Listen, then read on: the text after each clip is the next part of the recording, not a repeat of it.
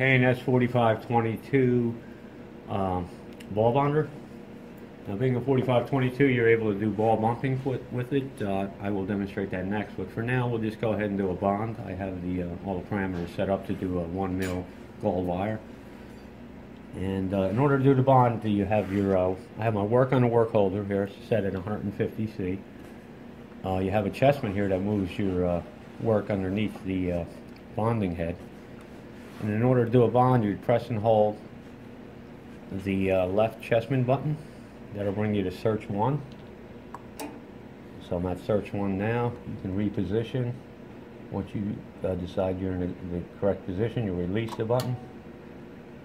So now the ball has been uh, placed at the uh, first bond position. Now it's at loop. Loop height can be adjusted with the loop knob over here. You can see the bond head move up and down. So once you determine you have a good loop height, uh, you can step back and do your second bond. Again, press and hold the left chessman button. Release to make the bond. Again, press and hold, bond one. Step back, bond two. Now with the ball bonder, you can also step forward or in any any direction in a 360 degree.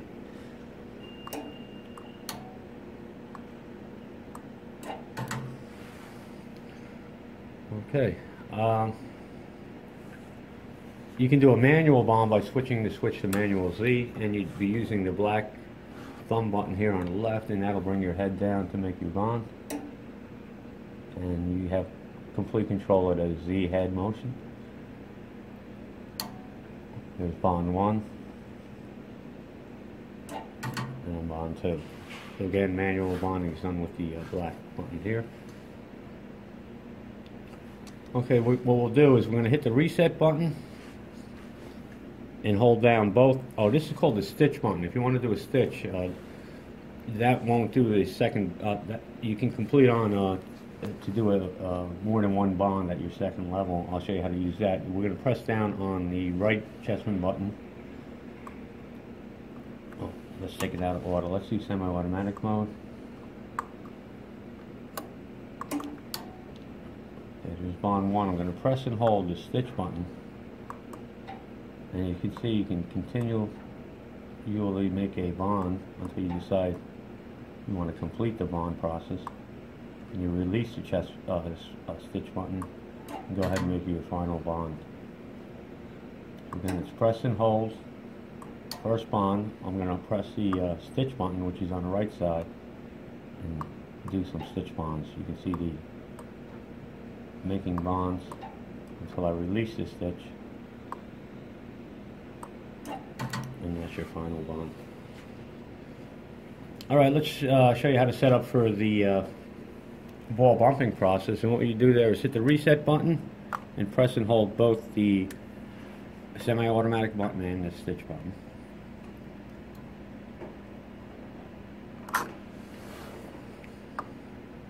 Now if you look over here, you see our, I'm pressing the stitch button to tell us what uh, setup I'm in.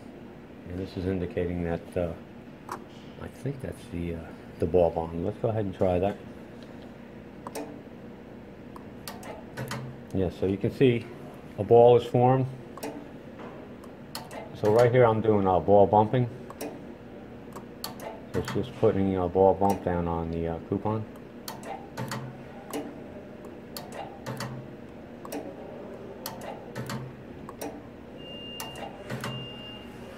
Now to get back to uh, manual uh, semi-automatic bond mode, you would hit the reset button and press and hold the left chessman button. This is in a manual that you received, so to explain how to switch between uh, types of bonding. There's also a, a coining or tab bonding uh, option available. And here you can see that the first button, the first light is uh, flashing only. So we're back to uh, your standard semi-automatic bond.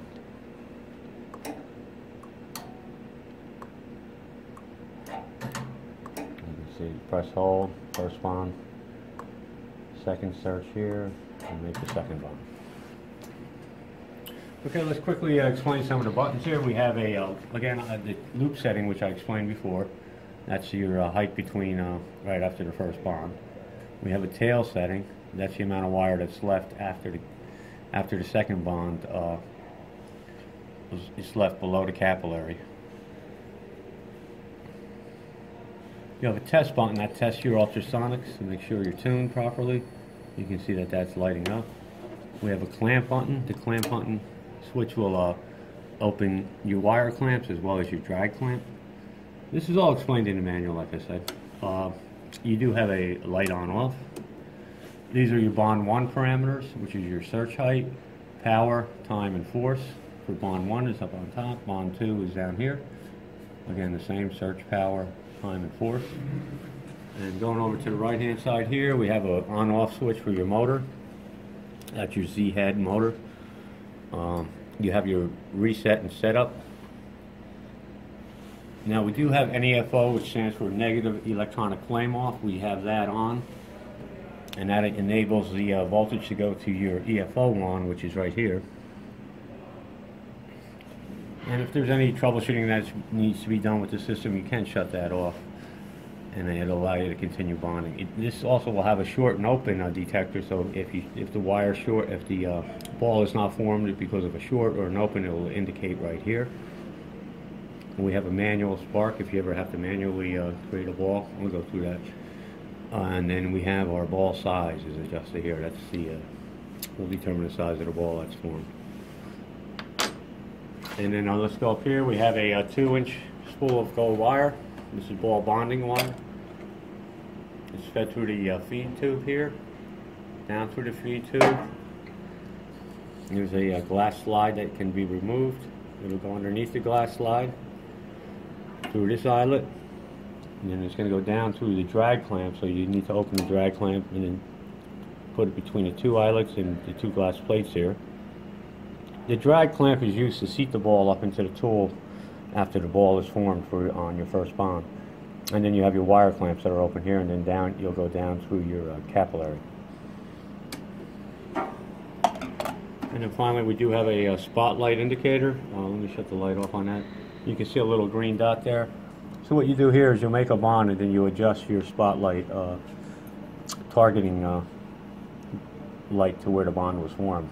So that as you go to make your next bond, you just bond to where the green light is, and it'll, it'll match exactly.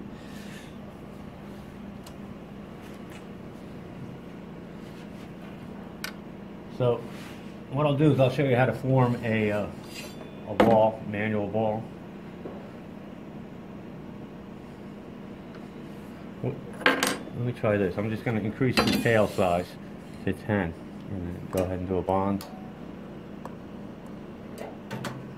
Now you can see that since the tail size is long, which means the amount of wire that's left after the second bond, we get a short over here. So the NF, because the wand, the wand is hitting the wire. It's a little hard to see at this without a magnification, but the NF, NEFO is indicating that we do have a, uh, a short. So what I'll do here, I'll open the clamps, I'll pull a wire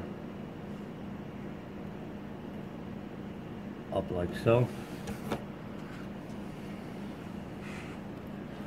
Close the clamps and I'll go ahead and, and let me readjust the ball size to, my tail size to three. And this is what you call a bond off. So bond it off and now we created a ball that way. Uh, there's another way to create a ball. If you have a problem is, let me just, uh, we'll feed some wire down like that. We have a little tail left. I'll close the clamps and I can push the EFO wand over by pushing on the uh, solenoid up here the left. And then I can hit the uh, manual spark. And you can see it spark there and created a ball.